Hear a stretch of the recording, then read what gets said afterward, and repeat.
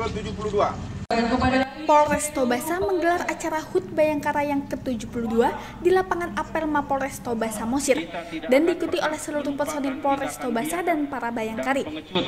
dari para pelaku Bertindak sebagai Inspektur Upacara Kapolres Tobasa AKBP Elvianus Laoli dan Ibda El Siahaan selaku Komandan Upacara.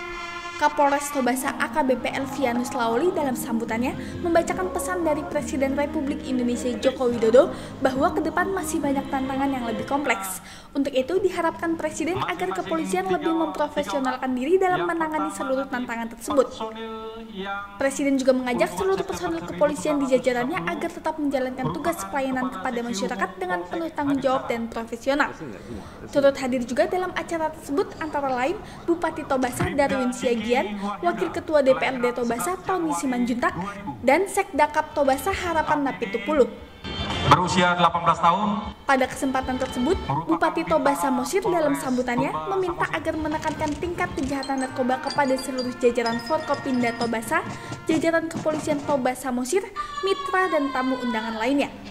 Dalam upacara ini juga turut diberiakan dari penampilan polisi cilik binaan Polres Tobasa.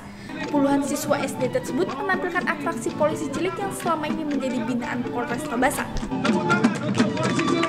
Kasat Lantas Polres Tobasa AKP Lambok S. Gultom yang menjadi pembina anak-anak tersebut mengaku bangga dengan penampilan anak didiknya. Diakuinya anak-anak tersebut sangat tekun berlatih dan sangat disiplin.